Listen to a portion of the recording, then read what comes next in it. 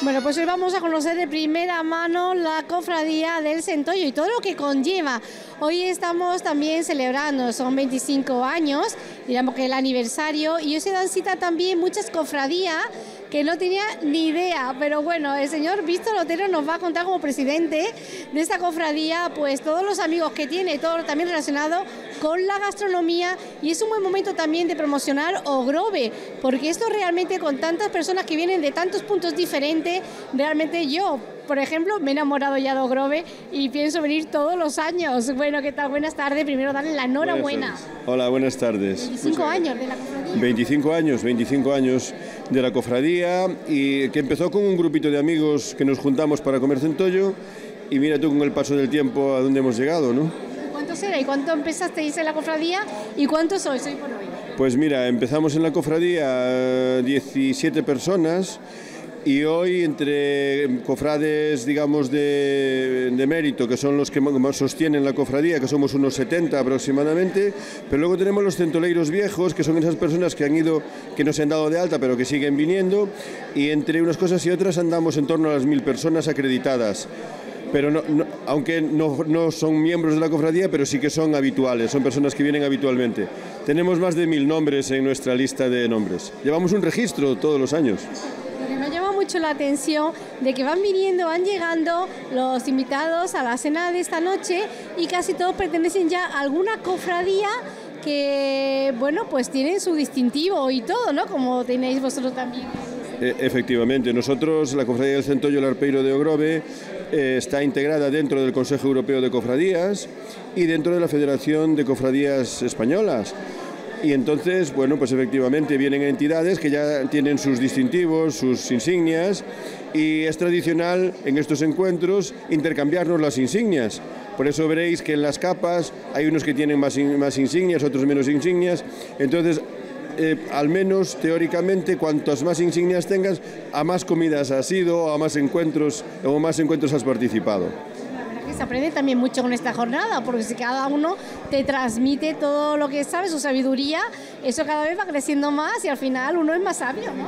Bueno, la verdad es que sí, hay que... Eh, yo siempre digo que esto lo que, lo que produce entre las personas es el encuentro. Eh, nos encontramos personas de diferentes mm, pueblos, de diferentes culturas, y cada uno pues tiene también, es, eh, es, somos distintos.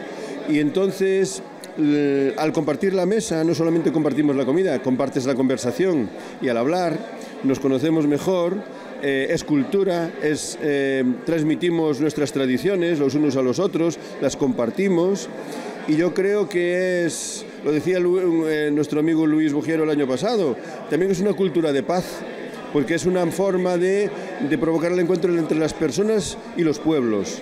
Y creo que eso es lo que hacen las cofradías gastronómicas, porque además, lo que decías tú antes, el Grove, estamos hablando del Grove y cuando vamos, y cuando vamos a Santoña hablamos de Santoña y cuando hablamos de la anchoa, pero también hablamos de, hablamos de Asturias, hablamos de Cantabria, hablamos del País Vasco, hablamos de Valencia, hablamos de Cataluña, hablamos de Andalucía. Es que eh, creo que llevamos nuestro pueblo, nuestra cultura y nuestras tradiciones con nosotros. Y si además lo compartes con los amigos, pues mejor. Bueno, bicho, yo tengo una curiosidad, ¿desde cuándo se pone de moda el centollo? Porque es que hay platos que muchas veces comentan, ¿no? Los mayores, bueno, no, antes no se comían bogavante, antes no se comían estas especies, se devolvían al mar. ¿Desde cuándo se pone de moda el centollo? Bueno, pues yo tengo que decir que soy bastante joven, todo el mundo está, está a la vista, ¿no? Pero eh, que ya me estoy acercando a los 60 años, yo ya estaba de moda el centollo, o sea que el centollo debe llevar de moda muchísimos años. definen qué va a consistir esta jornada para las que no tuvieran ni idea como yo de que existía a este nivel? Eh, ¿Qué vamos a tener a partir de esta cena y esta convivencia con personas de otras eh, ciudades diferentes? ¿Cómo se va a desarrollar toda la jornada? Bien, pues eh, esta cena es una cena de bienvenida fundamentalmente está pensada para, bueno, pues para las personas que van llegando, pues tener un sitio ya donde eh, comer, porque a veces los que ya vienen durante varios años y conocen el Grove, a veces ya no se quedan a esta cena. Eh, ahora tenemos acreditadas 200, casi 270 personas para mañana y eh, aquí cenaremos unas 70 o 80 más o menos pero fuera por el Grove, en los restaurantes del Grove, seguro que hay grupos que ya conocen y aprovechan esta cena del viernes para repartirse por el Grove. ¿eh? Entonces, eso es lo primero que hacemos aquí, es una cena de bienvenida para acoger a los que ya se quedan por aquí. Mañana por la mañana tendremos un acto eh, que nos da la bienvenida al alcalde sobre las 11 de la mañana en una carpa institucional que hay eh, enfrente al ayuntamiento.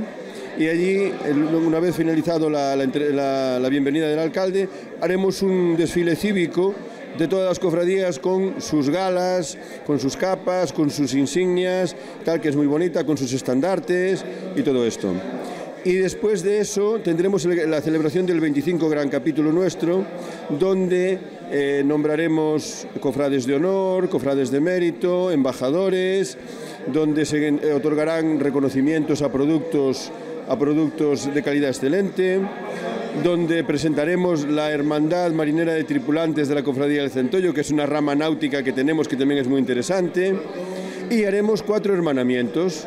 Nos vamos a hermanar con eh, una cofradía española, que será la, de la anchoa de Cantabria, una cofradía eh, portuguesa, que es la del presunto y la cebolla, y luego nos vamos a hermanar con la International Police Association, que es la Asociación Internacional de Policía, a través de la Delegación de Salamanca, y también nos vamos a em, eh, hermanar con un regimiento del Ejército Español, el Regimiento Asturias 31. Con lo cual tenemos mañana un día muy completo y luego la comida y luego la cena. Haremos una velada a la arpeira. Después de, los hermanamientos y de todos estos actos vendremos a comer y después de la comida descansaremos media hora y luego nos apuntaremos a una velada, eh, la arpeira que la llamamos nosotros, que no es una cena exactamente, con música y con, bueno, para que la gente pues lo pase bien y al día siguiente, el domingo, tendremos una visita. Nos gusta aprovechar lo que decía antes, no es solo comer, sino que tenemos que enseñar también lo nuestro, nuestras tradiciones, nuestra cultura. Entonces aprovechamos cada, cada año para enseñar algo del Grove, de nuestro pueblo o de lo, de lo que esté cerca. ¿no? Mañana vamos a ir a visitar el centro de interpretación de la Siradella, que está aquí en un monte, el monte más alto que tenemos en el Grove, que son 102 metros, pero es el monte más alto que tenemos y hay que presumir de él. Y eh, después de eso haremos una ruta marítima, eh, que es la rama náutica de la cofradía, y aprovechamos para comer ya a bordo y así cuando regresemos a las 4 de la tarde todo el mundo ha comido, se ponen, meten sus coches y se marcha para su casa. Bien completito, bien atendido y esperemos que, que les queden ganas de volver, porque a nosotros sí que nos quedan ganas de que vuelvan hasta el lunes tengo que hacer la compra para llevármela para Marbella, Víctor. Así que, bueno, que también eh, está usted de enhorabuena porque también le han dado un reconocimiento, ha salido, le comentaba en el periódico El Faro, o sea que, ¿cómo se ha sentido con este...? estado con los marineros, ¿no? Con, ah, bueno. los oficiales. Sí, eso fue la, yo también soy secretario de la, de la Asociación de la Virgen del Carmen del Grove y entonces se, se, le concedió en su momento y se pidió autorización al, al, almirante jefe de Estado Mayor de la Armada para entregar, con motivo del 300 aniversario de la Real Compañía de Guardia Marinas, aprovechando eh, esta, esta conmemoración tan especial, pues entregarles a la Escuela Naval Militar la, la medalla de la Virgen del Carmen del Grove. Eh, lo, lo, aceptaron con, con, mucho honor y con mucho orgullo, el mismo que sentimos, lo mismo que sentimos nosotros, y hicimos el acto solemne de entrega ayer, ayer o antes, fue ayer creo, ayer en la Escuela Naval Militar, efectivamente ha sido eco de todas las noticias de aquí, de Galicia. Pues enhorabuena y también tenemos eh, que dar las gracias también, por lo visto, al hotel donde nos vamos a quedar, que es el Hotel Mario del, Norte, que ha abierto solo para, para este Efectivamente, los hoteles que colaboran con nosotros, excepto alguno que abre todo el año, la mayoría abren eh, a propósito para este capítulo, porque también ofrecen unos precios especiales para que la gente realmente venir un fin de semana pues le salga económico, ¿no? que sea relativamente económico. Y entonces, bueno, ellos, yo hay que aprovecho ya para agradecer la colaboración de todos, porque nosotros no podríamos hacer esto sin, la, sin, la, sin que los hoteleros, el restaurador, toda la gente que colabora, pues no nos echase una mano.